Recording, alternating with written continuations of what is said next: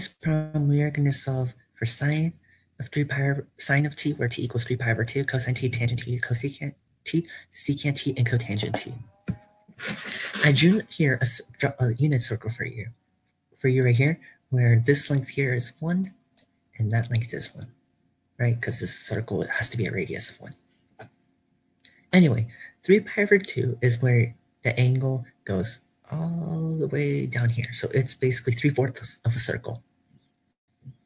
At t equals 3 pi over 2, you, re you realize that because the radius is 1, and this thing lies directly above its y-axis, its coordinate is 0 slash, no, 0 comma negative 1, and that'll be an ordered pair of coordinates.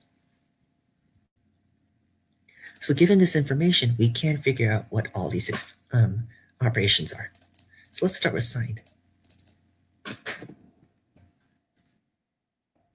Sine of x is basically, or, sine of t is basically equal to your y coordinate. So it's negative 1. Right? Sine is y coordinate. So it's negative 1. And, this, and the opposite is true for cosine. Cosine of t, or cosine, is the, is the value of your x coordinate, 0. Tangent of t is the same as sine of t divided by cosine of t.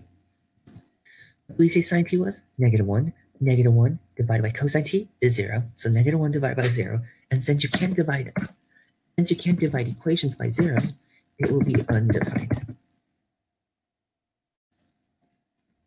Cosecant t is basically is, is the is the reciprocal of sine. 1 divided by negative 1 is negative 1.